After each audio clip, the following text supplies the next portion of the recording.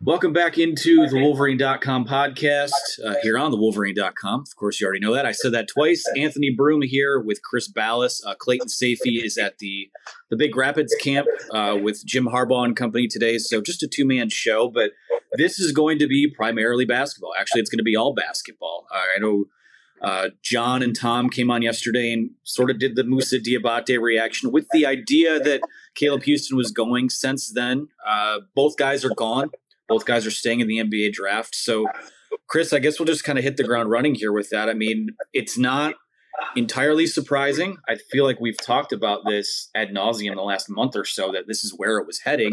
Um, there's been a lot of fan discourse around it. People upset that they never saw.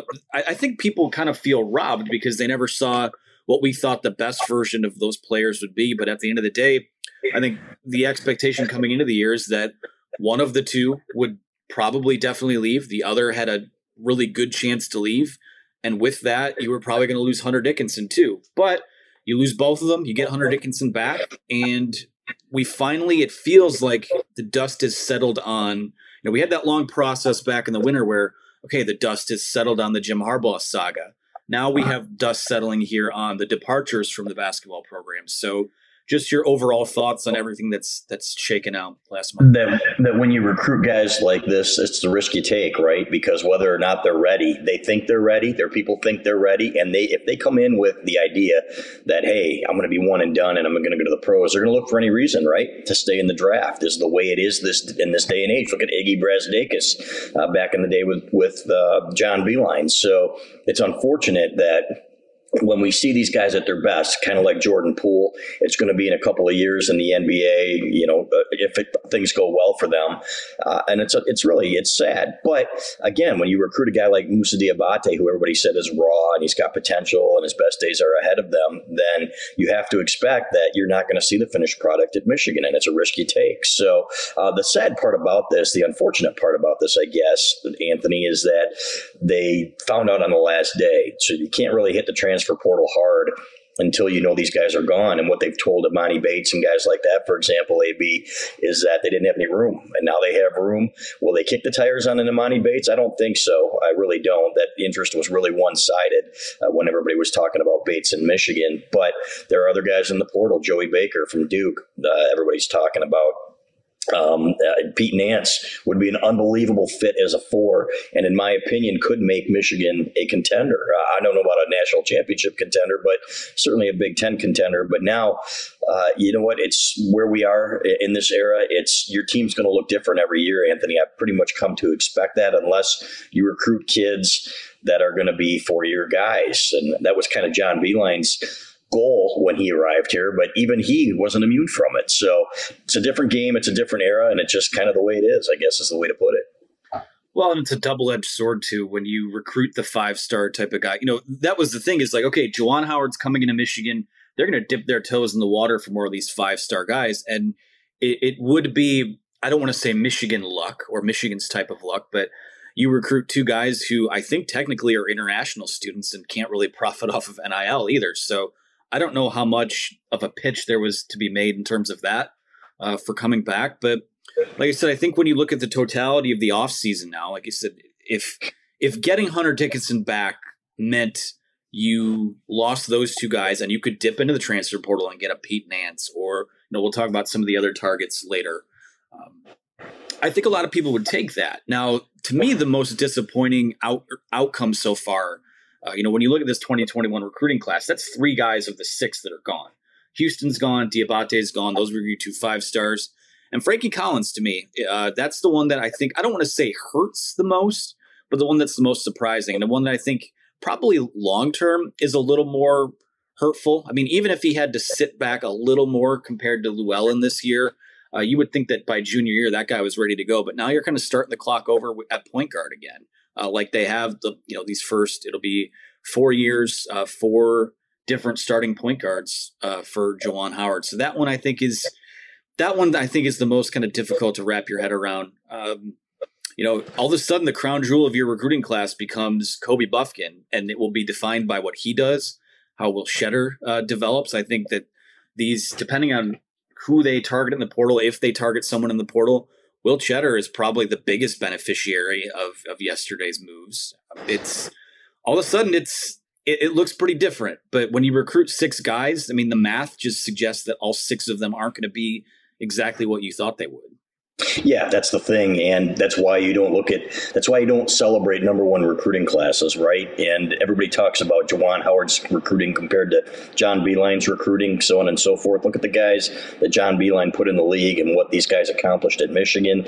Um, it's not about. It's like he used to say. It's not about what you get on paper when they get here. It, look at what they do after they leave. Look at guys like Caris LeVert, for example. Nick Stauskas was the number 75 player in the country when he was recruited, and he ends up being a lottery pick. So uh, that's how you measure recruiting. And so I think they're still looking for that sweet spot, AB, of, and I think a guy like Tarris Reed, for example, can be that. Now, the problem there, too, is you don't know. Maybe Tarris Reed has it in his mind that he's going to be a one and done, even though, you know, he's a top 40 kid. And hey, I just wanted to go to college for a year. That's the way, that's the turn that this thing has taken here. Even if you're not ready, guys think they're ready or guys want to develop in the G League rather rather than college. But um, you know what, a guy like Pete Nance would be a great fit. And there was a I had a question anyway how Diabate and Hunter Dickinson fit together on the on the court. And I was actually talking to assistant Phil Martelli about this a couple weeks ago, and he said they had a plan. He said Juwan Howard and Howard Eisley are brilliant offensive strategists. He said, and he gave them all the credit world. He said there was no way that the offense was going to be clunky if those guys were on the floor together. Uh, they were going to find ways to make it better. But I, to me, if you can swap Nance for Diabate, uh, to me, that's a huge upgrade. I don't know that it's going to happen. In fact, there's been a lot of buzz that it's not going to happen, that he's, you know, Gonzaga was in the picture, Illinois. Uh, there was actually buzz yesterday on the Illinois boards that he was going to stay in the draft, which didn't happen. So if you're Michigan now, you go all out. I don't care what NIL angle you can play or whatever. You try to get a Pete Nance. Um, and there are other guys, too, that in that portal still that can help you. But uh, to your point about point guards, AB, I think that's a great point.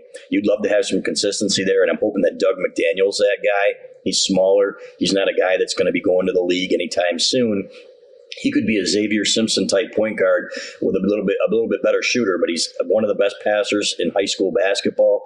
Uh, if they can get a guy like that and grow with him uh, and build around him, and he becomes who you hope he is, I think that would be great because uh, yeah, you need some consistency and stability at that position. Well, it's like the same debate, throwing it back to football. When's Jim Harbaugh going to recruit and start his own quarterback? It's the same right. deal with Juwan and the point guards now. Uh, let's talk a little more in depth about some of these potential transfer portal uh, fits. I wrote about that uh, this morning. Uh, we're recording this here on Thursday morning. Um, there is an article on the front page of some guys that I think would be good fits. I mean, Pete Nance is right at the top of that list. I think he's the potential white whale addition. You look at what he did at Northwestern last year a touch under uh, 15 points per game, shot 50% from the field. He was a 45% shooter from three, which was up almost 10%. That's insane getting that from the four spot. So I think putting him next to Hunter Dickinson, I mean, I, I, I don't. Well, here's the thing too: is that I don't know how hard Michigan's going to hit the portal because I just saw on Twitter Juwan Howard's in France right now. So I don't know what type of work is being done at home at the moment, but um, you know, if you're going to go after Pete Nance, it's got to be an all-out full court press like right now because I don't think that that's a recruitment that will last very long. Um, hopefully, hopefully he's got the international plan, AB, so he can. Yeah. I would think so. Yes. Um, you know, when you look at Nance, I mean, I, you know, you go through On3's transfer portal rankings. He's the fourth best guy on the board. Like I said, if it's at all realistic, this this is someone we talk about. You know, the Detroit Lions rushed the the pick in to get Aidan Hutchinson this is a guy you rush to make phone calls to uh, to to get him in your program. Uh, Emoni Bates, I, we don't need to go too in depth on it. I think that that's been well plowed at this point, but uh, I tend to believe if he was a uh, if he was a fit for this, he probably would already be a Wolverine, considering all the contact that was taking place earlier on in the offseason. But if he's still on the board now that you have a uh, you have these spots available, you know, Juwan Howard talks about culture, and if you believe in your culture, that can be a guy that you do take a take a swing on. But I don't know if that's a fit. Other guys I wrote about, uh, Mouhamed Gueye from Washington State, Manuel Akot is still out there, uh, Jacob Grandison from Illinois, someone who kind of fits that Chaundee Brown uh, type mold, just dipped into the portal yesterday. So, uh, in addition to Joey Baker too. So, any of those names stick out to you, or do you think that Michigan will be in contact with any of these guys? They will, and, and they have been with Nance. So uh, I, am with you. Uh, you'd go all out right now. Grandison too is fascinating because of the the hard feelings we'll call them between Michigan and Illinois, and uh, and the rivalry there that's been budding. So I think he'd be a great fit. Uh, he'd be another villain. You know, Phil Martelli talks about Hunter Dickinson playing the villain in these venues and, and playing it well. He thinks he's got a career in pro wrestling when his basketball days are are behind him, and uh, and you can see that with Grandison, especially with uh, Illinois. That'd be fantastic, and I think he'd be a great fit. You need shooters.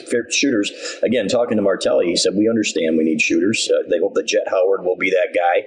Uh, you're going to be leaning on some more of these freshmen, no matter what, AB, at this point and they, they need some of them to step up as shooters. Jett Howard is obviously uh, your number one guy in that respect. So, but if you can get a Grandison and you can get uh, uh, Pete Nance, uh, that would be amazing. It would be, uh, to me, uh, yeah, the, the team's going to have a different look, but you've got guys that have experience. And here's the thing about Jaelin Llewellyn, too. We talk about ha- having, you know, starting with a new point guard. At least these guys that he's bringing in have a lot of experience playing at the level. So it's not like they're coming in as true freshmen and you're starting over with a new true freshman every year. You're starting out with a lot of guys who have played high level basketball at a high clip against great competition. So that's good news.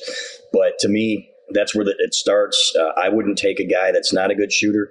Uh, and when it comes to Emoni Bates, you know what? It, it, it, could be one of those things where desperate times call for desperate measures, but it is a risk. There's no doubt about it. And uh, they actually played better when Emoni Bates at, at, Memphis this year, when Emoni Bates wasn't on the team, wasn't playing. So uh, you know what? You'd have to have a lot of faith in, in Juwan Howard that this is going to work. Uh, and I have faith in Juwan Howard, but I, I'm still not convinced it would work. Yeah, I'm with you there. That's like I said before. I think if that was a fit, this probably would be done already because yes. there was so much buzz early on. And I think it, it's pretty telling that you know when you have a guy who just a year ago was seen as this this phenom, this the next big thing uh, to me, I actually think it's kind of a cautionary tale. It kind of get like some Todd Marinovich vibes out of yes. it, frank with you. Um, you know, the fact that that guy is still hanging around and no one's really gone after him, um, that's a red flag to me. I'm sorry, uh, but you t- you know you talk about some of these program guys. You need guys to stick around and be fixtures. I mean, Hunter Dickinson's going to be a junior. I mean, that's he's one of those guys now. You can officially say that.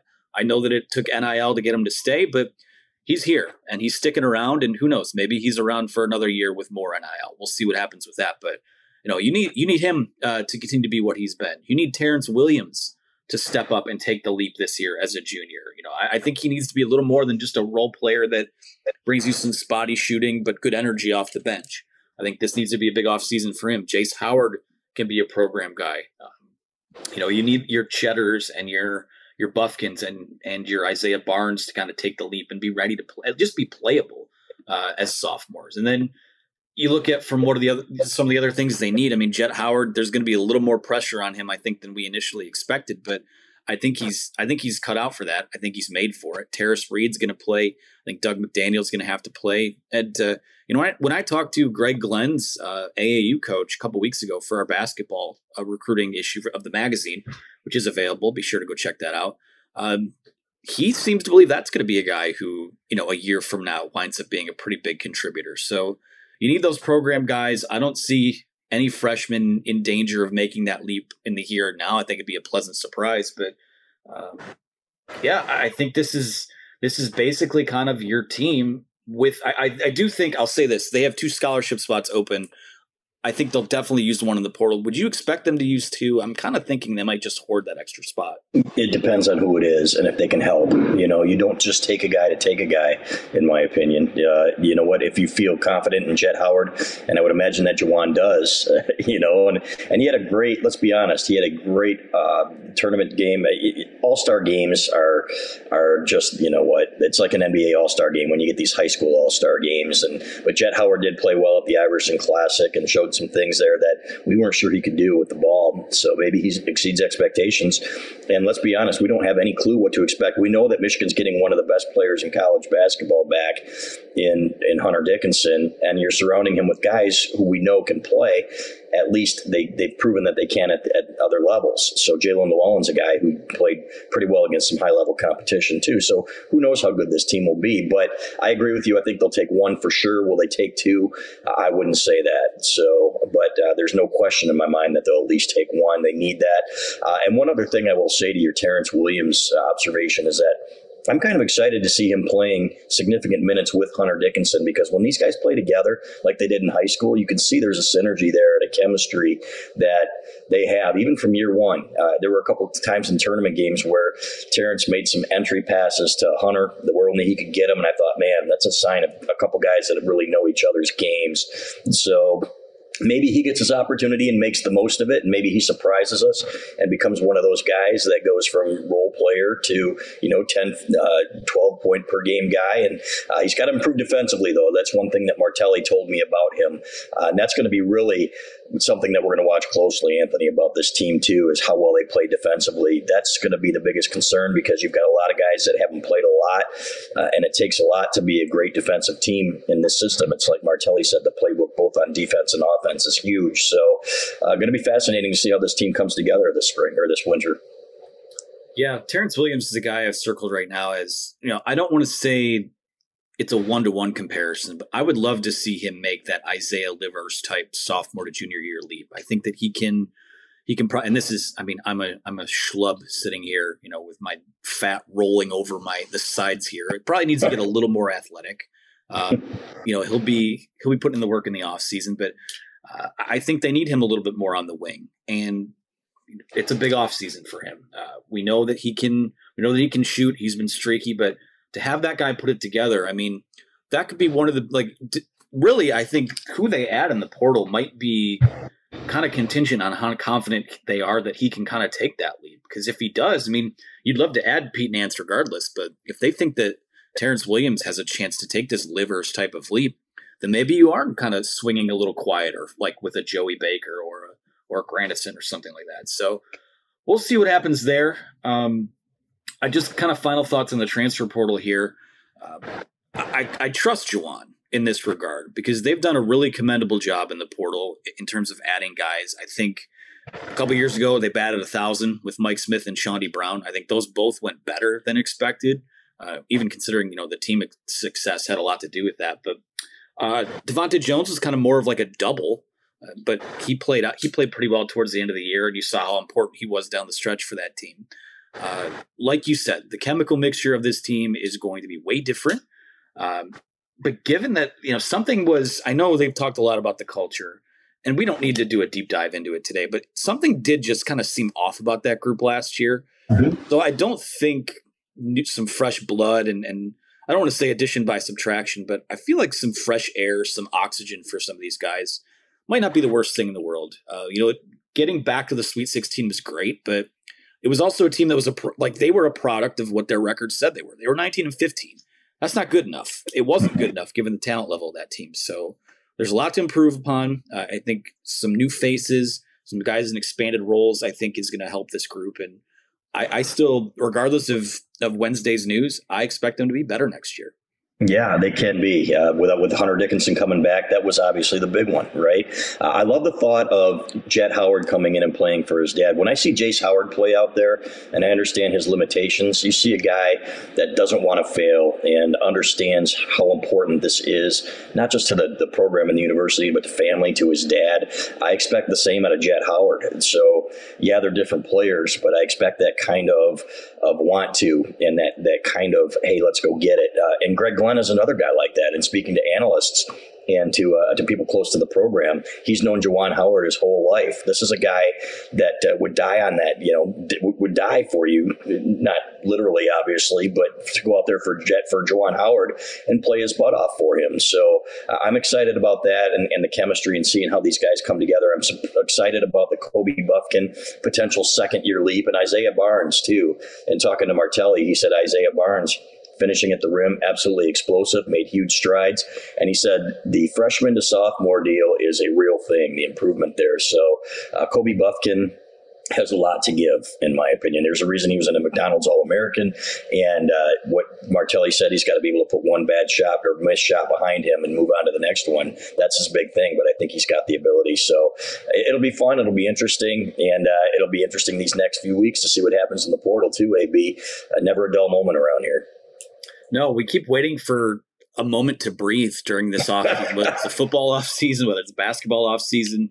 Uh, we'll talk about football preview here in a second, but yeah, I'm looking forward to maybe by the end of June, maybe sitting on my porch and having having a beverage or two and just just yeah. breathing a little bit, doing some deep yeah. breathing exercises. So there's no time, there's no downtime anymore. You know that. So there's what wishful thinking. Um, exactly. So before I get out of here, just real quick plug: uh, we are working on the football preview magazine right now. Uh, Want to get the word out there about that. Um, you know, work I don't want to say round the clock because we do have to sleep sometime, but everyone is is totally busting their ass right now putting this thing together. 160 full color pages of you know news, notes, analysis. There's nobody in this in this market that will have done a bigger deep dive on this 2022 football team that that we will have. So we're excited about that. A lot of work, but I, I think it's worth it. Uh, there's three ways for you guys to kind of order and save on it. Uh, if you're a member of uh, the Fort, there is a link um, that is available on the message board where you can get an eight dollar discount on the order. You're getting it for I believe nine ninety nine as opposed to fourteen ninety nine uh, plus the free shipping. So basically, you're getting a full football preview for ten bucks, which is far less than what you can get it for at the bookstore, ordering it online, whatever it is. Um, if you're not a member of of the Fort or the Wolverine.com, you can pre-order the issue um, on the WolverineOnDemand.com. Uh, if you pre-order it before June 27th, you're going to save on shipping. So that's four bucks that you just won't be paying. You'll just pay the 14.95. Or if you're already a magazine subscriber, you are going to uh, get a preview with your football, um, or you're going to get a football preview with your annual magazine subscription. So we're going to keep putting the word out on that. Uh, the link for the uh, for the football preview will be in the description below of both the podcast and the video here on YouTube. Uh, Chris, I, I guess what are you kind of working on with that preview right now? I want to say that I had an unbelievable conversation with Mike Morris the other day, and this guy is one of the more uh, in, intelligent, incredible interviews I've ever done. So I cannot wait to write that one. Uh, a lot of guys like that on this team. And that's what excites me. Uh, we did the season preview. In past years, when we were filling out our top five players, you'd have three obvious candidates and then two guys. Well, if they come on and, you know, maybe they'll be in that top five. It was at least 10 guys that we had to sort through to get that top five. That's how deep and impressive this team is going to be. We've got exclusive interviews with some of the players, some of the coaches. So always worth it. And, and for the old timers, especially having that thing that you can read on the can, you know, is uh, is something that uh, I I know I still appreciate, and uh, and a lot of people do. People like to have that in their hands, so we hope you'll order it. Yeah, I'm an old soul, as you've said before. I I, I still use physical media. I buy I buy CDs. I read books. I buy magazines. Uh, it, it feels good to have something in your hand. And for me, this is my first football preview. It's going to feel good to have something in my hand that I was a part of and that we were a yeah. So yeah, you'll be proud of it, man. Definitely. Uh, hope you guys will take advantage of that. Uh, Chris, that's going to do it for today. Appreciate your time, everyone to watch and listen. Uh, we appreciate your time as well. Be sure to hit the subscribe button on YouTube below. Uh, leave us a review on iTunes. All that good. Only good reviews though. We have egos. We need you to stroke the egos for us. Uh, other than that, I appreciate it, Chris, and we'll talk to everyone soon. Thanks, Anthony.